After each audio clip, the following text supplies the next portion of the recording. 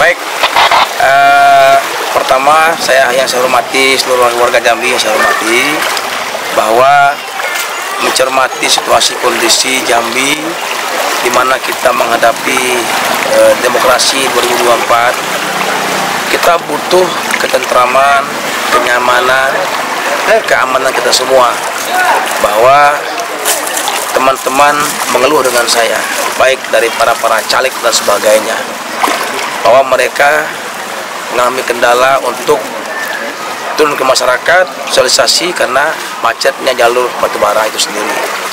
Nah, kedua kita juga menyikapi KPU yang akan mengantarkan distribusi logistik pemilu kita. Ya, tentu mereka butuh jalur yang tidak macet, lancar. Yang ketiga, nah kita juga butuh juga keamanan dan kenyamanan. Tentu teman-teman dari Bawaslu akan turun melihat situasi kondisi nanti. Pihak eh, TNI Polri juga akan turun nanti. Nah, saya kira ini perlu eh, daerah apa eh, kondisi jalan yang lancar tentunya. Nah, yang keempat, kami evaluasi sampai akhir Desember ini belum ada jalan khusus batubara yang selesai. Dan sementara sudah ada usaha yang, yang membuat kita pernyataan bermaterai kepada kita untuk rolling itu selesai di akhir tahun 2023 sudah ada yang selesai.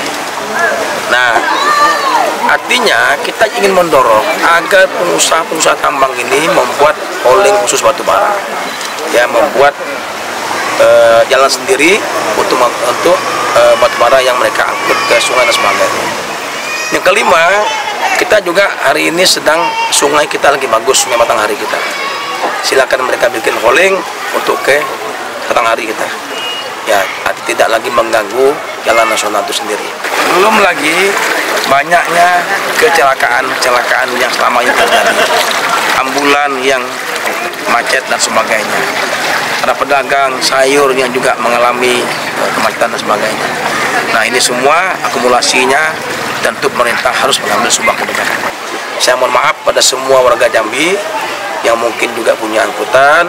Ini kita ambil untuk kita semua ya bahwa kita ingin Jambi kondusif aman utamanya menjelang pemilu 2024 ya dan bagi sopir yang terdampak dengan ini kami juga akan memberikan bantuan BLT pada eh, sopir-sopir kita nantinya.